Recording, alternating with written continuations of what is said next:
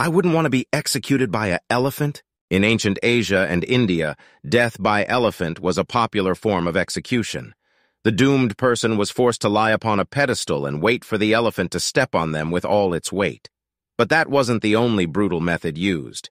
Elephants were also trained to slowly break bones, crush skulls, twist off limbs, even execute people by throwing them about like a rag doll. This method of execution was still popular up to the late 19th century. Like and subscribe for more.